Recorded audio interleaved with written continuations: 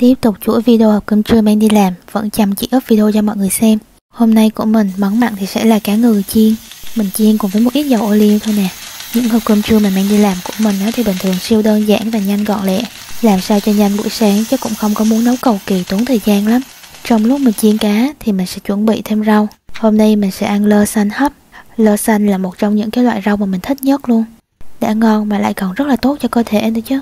Thường mình sẽ thích hấp hơn vì hấp thì giúp giữ lại dưỡng chất ở trong đồ ăn tốt nhất. Hấp cũng nhanh lắm một lúc thôi là xong rồi. Rồi chuẩn bị thêm cái chén nước mắm thật là ngon để ăn cùng với cá chiên. Mình sẽ làm nước mắm ớt tỏi nè. Đường, nước mắm, rồi giấm hoặc là chanh Thêm một ít nước vào nữa Khuấy cho nó tan hết là xong rồi. Phần này mọi người gia giảm làm sao cho vừa khẩu vị nha.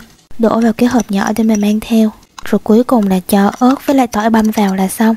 Vậy là xong cái phần nước mắm siêu ngon để ăn cùng với cá chiên. Hôm nay thì mình sẽ ăn cùng với cơm gạo lứt đen quen thuộc nè.